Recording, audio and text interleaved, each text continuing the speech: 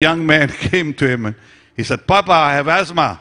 And Benson said, Kneel. He said, Open your mouth. And he blew in his mouth and he slapped him. Pow! Hello, my family. Welcome again to Direct TV, bringing to the truth. Welcome, guys, to this special episode of my video. And it's still your brother, brother Joshua here. And in today's video, guys, the man, um, I'm here with the man of God, Pastor Benny Hinn, and he's going to be telling us a very, very, um, you know, funny and uh, important um, story today. All right, about the man of God, the Archbishop Benson Idahosa, and while he was in Nigeria, and how he, he, he will be mentioning several ministers, um, even in today, a person of um, uh, Oyedepo, Adeboye, all of them, all right, in this particular story. This is very inspiring and very, very funny, guys. You got to listen to this and how he actually, you know, went to preach in Ibadan and how he escaped death. So, um, so, um, before we dive into the video guys um for those of you coming very newly to my channel if this is your first time my channel just kindly the subscribe button subscribe to um this channel and then if you have not yet liked the video please kindly the like button like to this video guys now i'd like you to watch this story and then let me know what has blessed you in the comment section guys i'll be right back just immediately after this um, story watch this guys and i'll be right back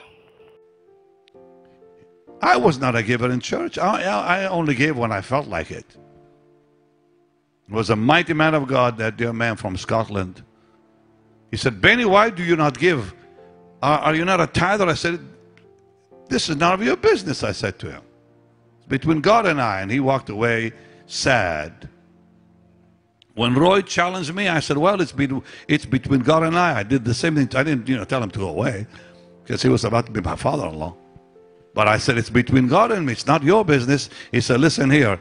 You're about to be my son-in-law. It's between God, you and I. And he was pushy. He pushed me into it. I've been there. I've, I've had more troubles with money than you've ever had in your life. Bonnke came to me, challenged me to give him a million dollars for Nigeria. That was before I had any meetings in Nigeria. Big meetings, I should say. Yeah, I came to Nigeria with Benson Idahosa back in the 80s. For two weeks I was here. Two weeks. I ate Chinese food every night. Benson fed me Chinese food every night. And he would take it with his hand, say, eat, eat, eat. That man was something else. Two weeks I was in Kaduna, I was in Ibadan, I was in Lagos here. Two weeks. But I saw the man of God do something I've never seen in my life. He was powerful. I don't know. How many of you, of course, you've heard of Benson Idahosa, right? We are in a phone center one time where you used to make calls with the plugs, you know, in the wall. So we had to wait for the lines. I'll never forget that. I'm sitting next to him wearing a Nigerian robe. He gave me a robe every day. I looked like, uh, like the Pope. And on the platforms, I was so hot, I did this. My own air conditioning. It was hot in Ibadan and Kaduna up there. And here too in Lagos. And, I, and I'll be on the platform doing this. Too bad you were not there to see me. I'll never forget we're sitting at this phone center place. We waited for two hours for the lines to come. That was before all the new stuff we have today. And a young man came to him and he said, Papa, I have asthma. And Benson said, Kneel. And the man knelt. He said, Open your mouth. And he blew in his mouth. And he slapped him. Pow! I never saw a man slap another man in all my life. And when he slapped him, he slapped the asthma right out of him. That man was healed of asthma when, when Benson said, Be healed. Wham! He smacked him like that. How I wish I could smack people now, but I can't. Well, Benson did it. Why not? No, not today. You can't do that. I saw miracles with Benson Idahosa.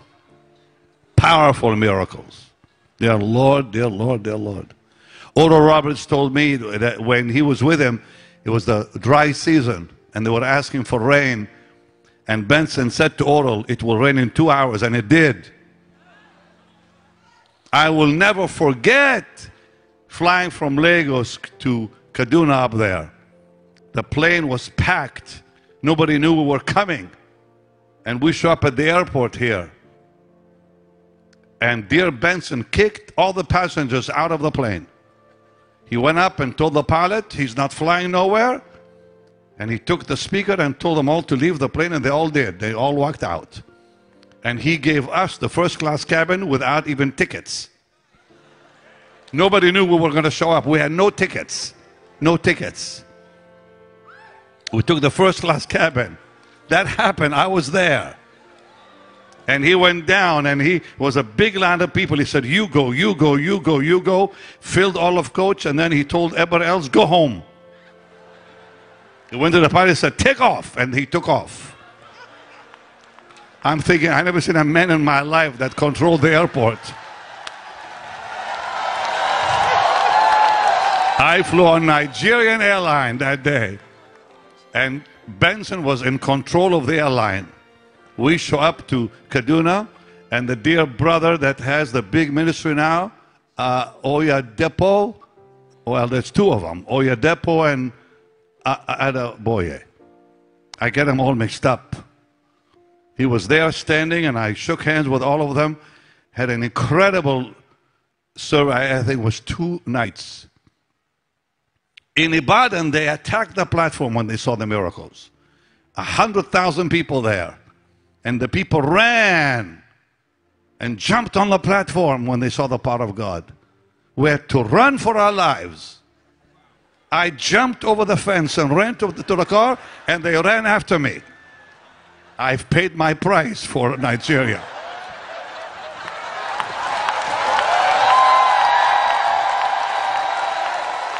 So now we ran away. I didn't know how to escape the second night. So Ralph Wilkerson gave me a big, nice gold cross. So I'm wearing my robe, you know, one under and one over. And I'm hot and I'm doing this, and the cross was on me. Looked, I looked like the Pope, even better than the Pope. And I'm thinking, dear Lord, how will I control the crowd tonight? If they attack us again, what will I do? I don't want to run away. So I said, oh, I got an idea. I, I called the big bishop. I don't even know his name now. I said, Bishop, come here. So a tall man in, in Ibadan.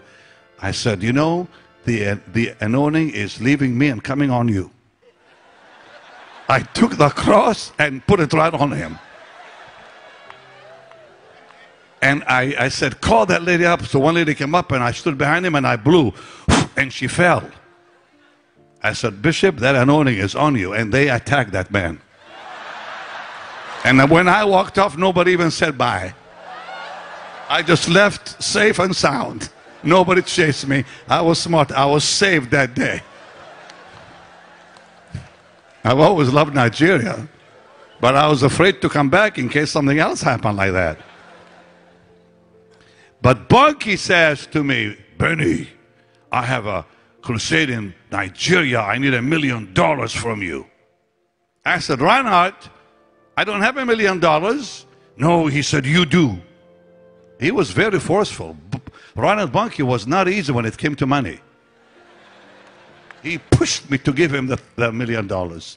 And I fought it. I didn't want to do it. He was just like Oral, very pushy. So I'll tell you what, I'll give you 300,000. Then I'll give you the rest later. We were in debt that week for $10 million. I owe 10 million to the TV stations because we were on every secular network in the US and throughout the world. And I didn't have the money. And they were threatening me to go off there because we were using a big agency out of Arizona. That's to buy your whatever. All right, my family, there you have it with the man of God by personal pastor Benny Hinn. Did you hear that story? Oh my goodness. The man of God, um, the Archbishop Benson that was I was a man that dared to do the impossible. He dared to do the the unimaginable. So um he has said a lot of testimony in today's video concerning the Archbishop Benson Idahosa and the miracles that you know he experienced while he was with um the Archbishop Benson Idahosa. All right, now you heard that story where where he went to preach in Ibadan, and now he was being pursued, and now he escaped. All right, not being beaten or, or dead from you know those guys. See, these men of God have really done a lot for the gospel. See, and most times I will tell some Christians, I'll say, Is this the same heaven you're gonna go to? The same heaven that you are even finding it difficult to visit maybe your your church member also so, guys, these men of God have faced a lot, all right, but they kept preaching, preaching the gospel. They have, they have, like what Pastor Benny said, he has been in debt several times. But you know, with all the things, I know how difficult it is when somebody is in debt. Debt is a very dangerous thing, and when you get into debt, it can destroy your entire life. All right, if God doesn't help you, but He keeps coming out of it, and He keeps preaching the gospel. All right, and the testimony about the Archbishop said that was that man. See how he slapped cancer out of that man. He slapped cancer. Anyways, guys, I'd like you to tell me what has blessed you today's video in the comment section. And for those of you coming very new to my channel, just kindly to subscribe button to subscribe. And if you haven't liked the video, please hit the like button like today's video, guys. And then I'll see you in my next video. Bye.